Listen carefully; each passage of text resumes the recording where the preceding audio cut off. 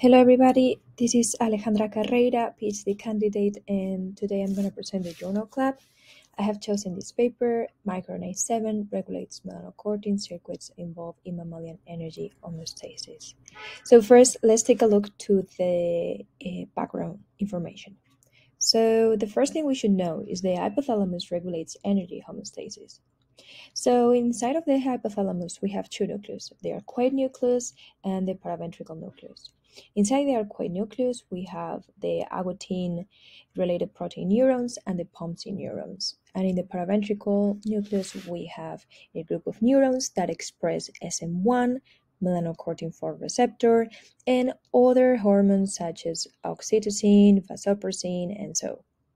So in the normal state, what it happens is that a leptin Eh, in a fast state, leptin is produced from the adipose tissue that activates the agoutin neurons that in turn inhibits these SM1 melanocortin receptor neurons.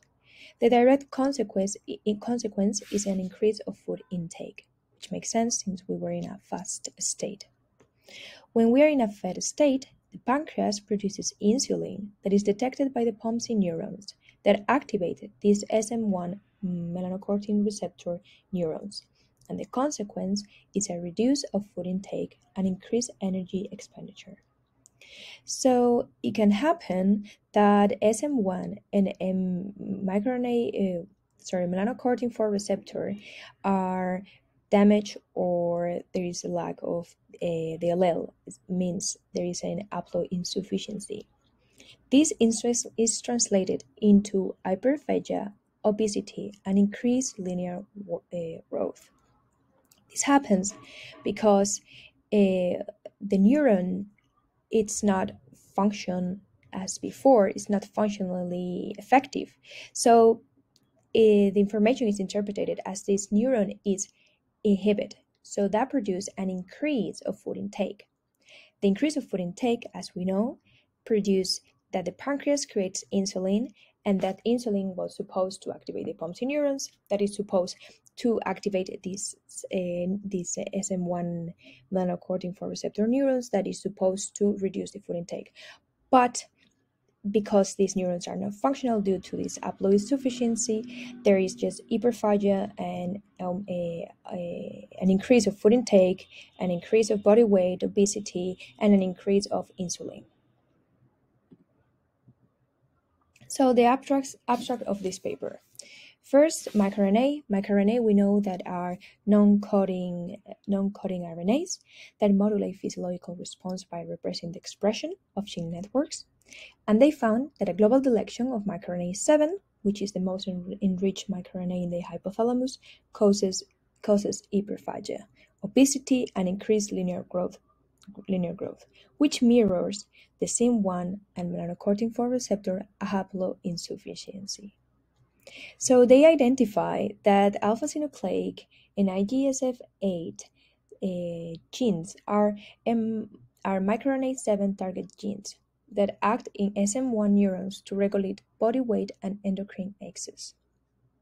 In humans, microRNA 7 is located in the last intron, as we can see here in this picture, uh, is located in the last intron of the hetero heterogeneous nuclear ribonucleoprotein K, which is an RNA binding protein that complex with primary RNA in the nucleus to influence their processing and transport. The promoter drives the expression of both genes, and it's known that genetic variants on this nucleoprotein K locus reduce its expression and is associated with increased height, but more importantly, with increase of truncal fat mass. These findings in turn demonstrate that microRNA 7 suppresses gene networks involved in the hypothalamic melanocortin pathway to regulate mammalian energy homeostasis. So their hypothesis is, can obesity be caused by non-coding genetic variants? For that, they're going to study the microRNA 7. First, because it's one of the most evolutionary conserved microRNA, either for invertebrate or human. Second is the most highly enriched microRNA in the hypothalamus with a distinctive expression pattern in arcuate and paraventricular nucleus. Third is highly expressed in brain, pituitary, and pancreatic beta cells. And fourth, they have already studied this microRNA family. Actually, precursors of this microRNA 7 family are encoded in different genomic loci, but they have identical seed sequences, which might indicate that it's an important microRNA for the cell.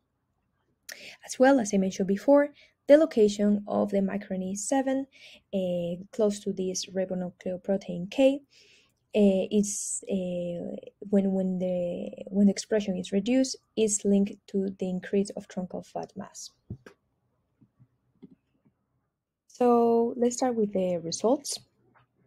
First, they conclude that genetic disruption of microRNA 7 leads to severe, severe obesity in mice. For that, what they do is they use a control mice that has a, the microRNA 7 sequence fluxed but does not have Cre recombinase. And then they have an experimental group of mice that it also has microRNA 7 fluxed but has ubiquitous a Cre recombinase. This system is a tamoxifen inducible, so they have a conditional, an inducible knockout. So what they found, let's take a look to the pictures from G2, G2J, that the male uh, on CHO diet have a, have a significant difference of body weight depending if they are experimental group with the flux uh, microRNA 7 or if they don't. Same with the female, and then on the high FI diet, we see a bit of a difference.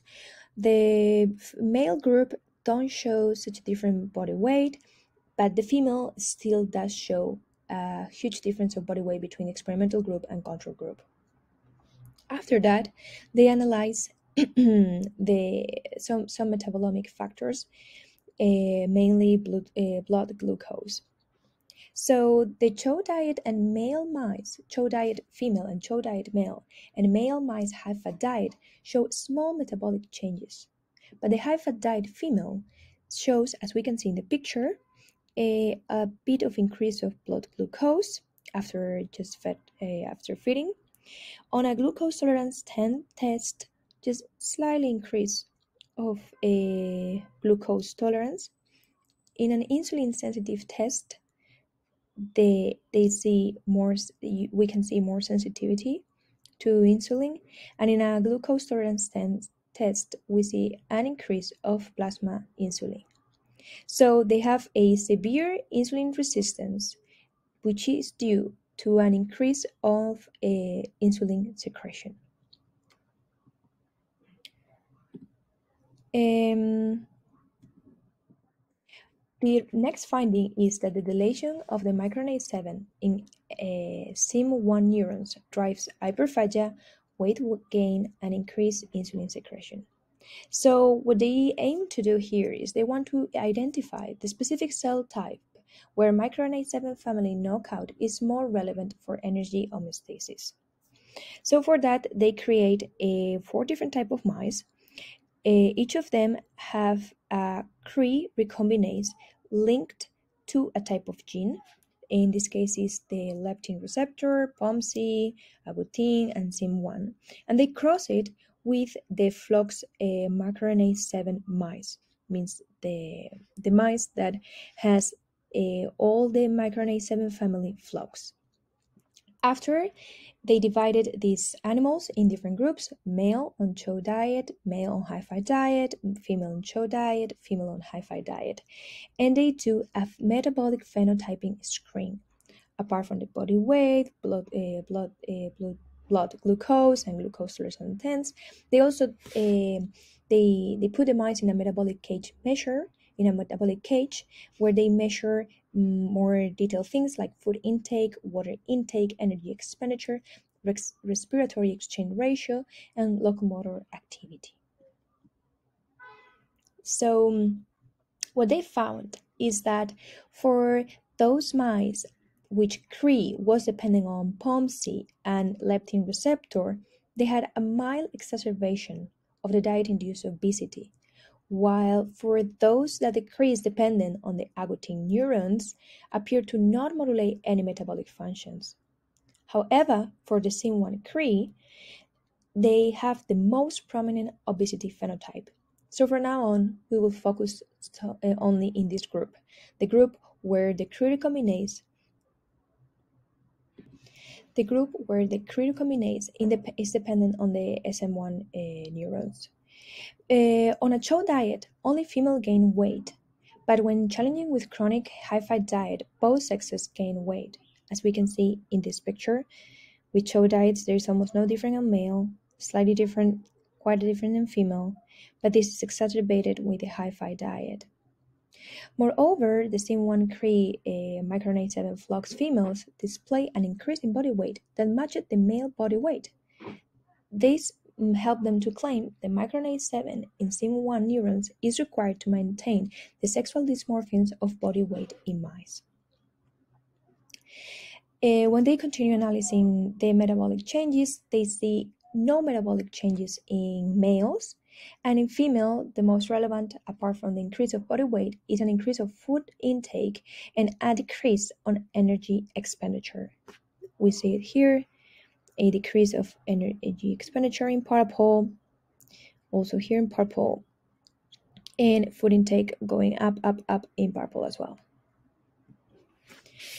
So, uh, for further metabolic analysis, they focus now only in female chow diet or high-fat diet.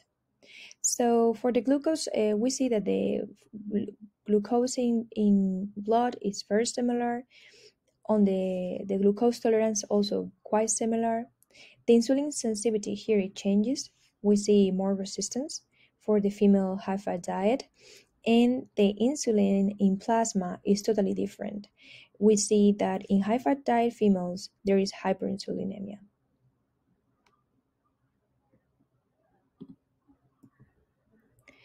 So, to confirm the hyperinsulinemic phenotype was not caused by Cre activity on the beta pancreatic islets, they measure the microRNA 7 expression on these beta pancreatic islets and they see that it's unchanged. And they also they measure the TT tomato fluorescence. This is very interesting because what they have is that every mice has in the ROSA 26 allele a LOXP stop LOXP TT tomato um, construct which is used as a marker of Cre expression. So despite um, the, the, the next result is the deletion of deletion of microRNA 7 in uh, SIM1 neurons causes neuroendocrine abnormalities. Despite obesity, they found increase in linear growth. This increased level of growth hormone it can be observed uh, as mRNA, um, mRNA and also as a protein in pituitary. And they also observe an increase of insulin-like growth factor in, in liver and plasma.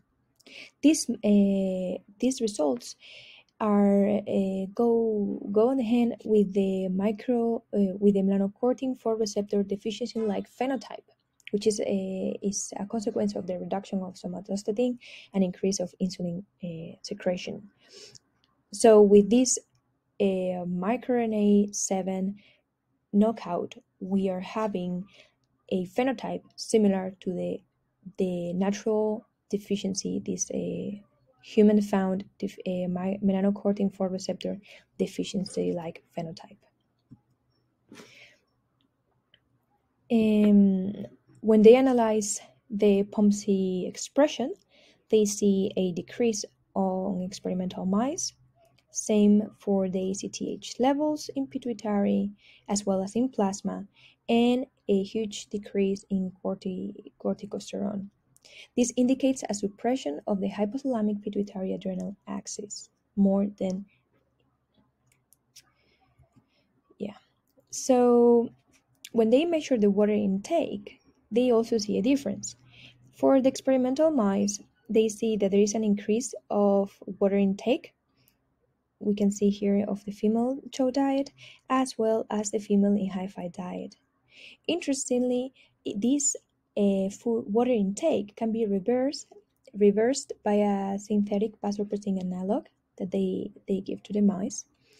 And this result suggests that an inadequate level of vasopressin released from the SM1 neurons cause impaired water retention and excess water intake in these experimental mice.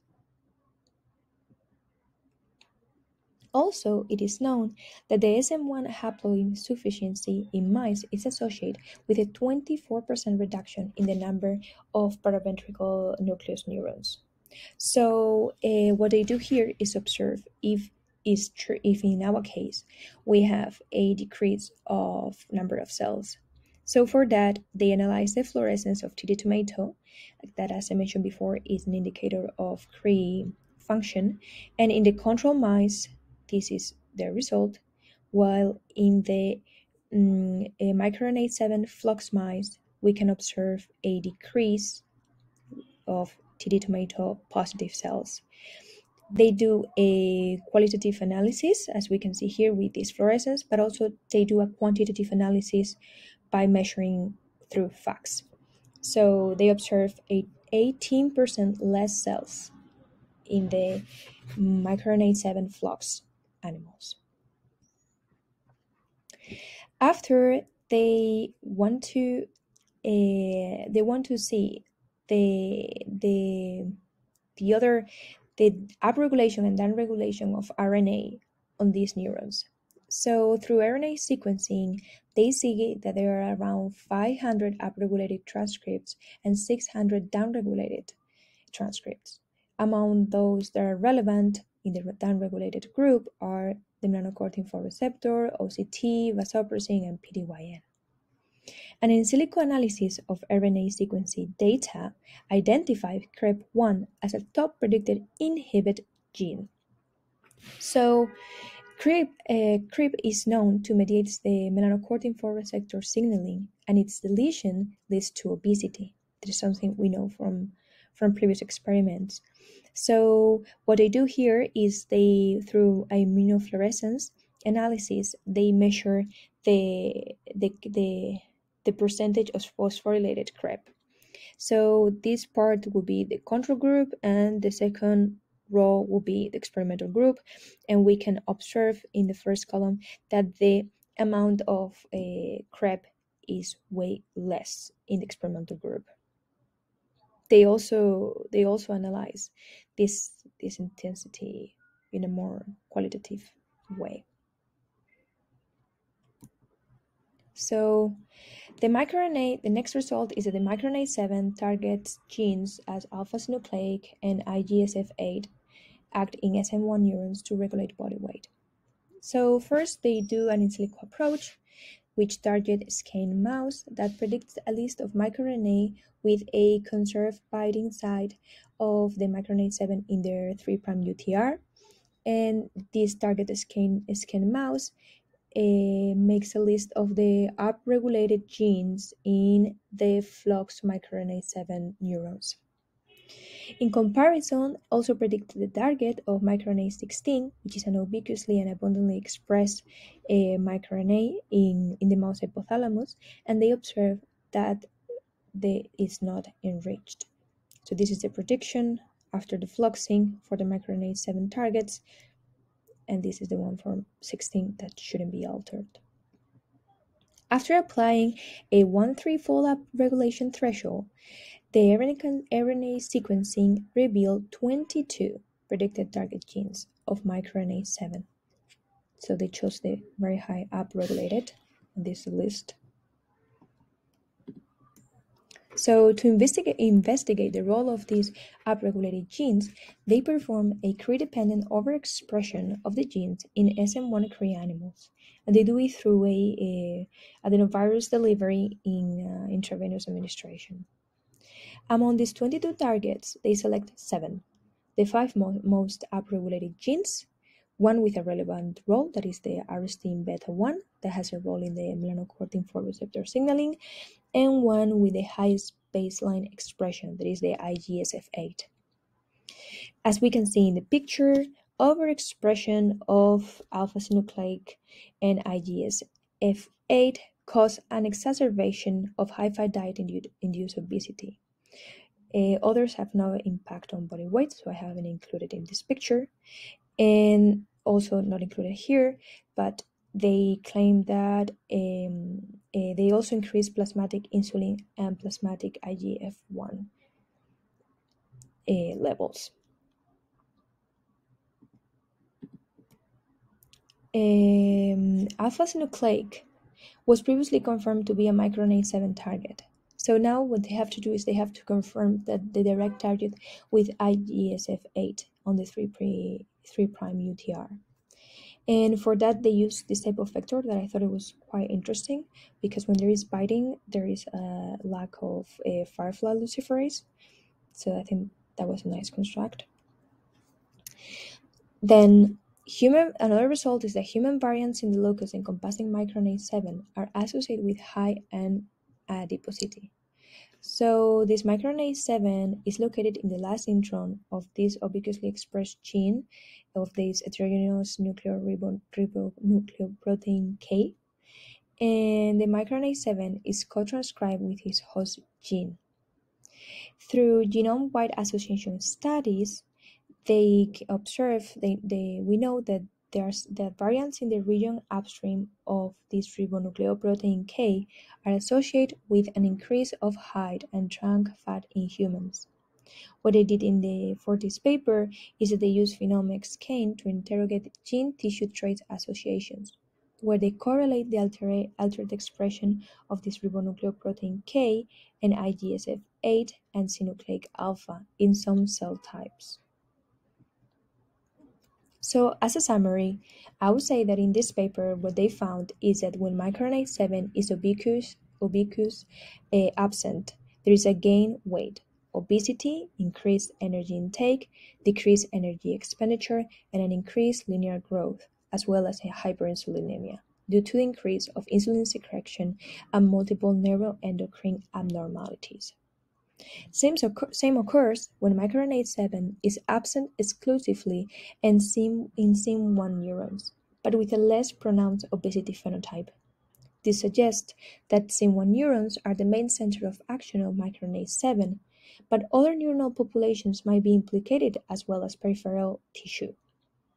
IGSF8 was identified as a novel microRNA7 target, and with its alpha-synucleic, they are individually sufficient to regulate energy homeostasis and neuroendocrine axis through SM1 neurons. These findings demonstrate that microRNA7 suppresses gene network involved in the hypothalamic melanocortin pathway to regulate mammalian energy homeostasis. Thank you very much.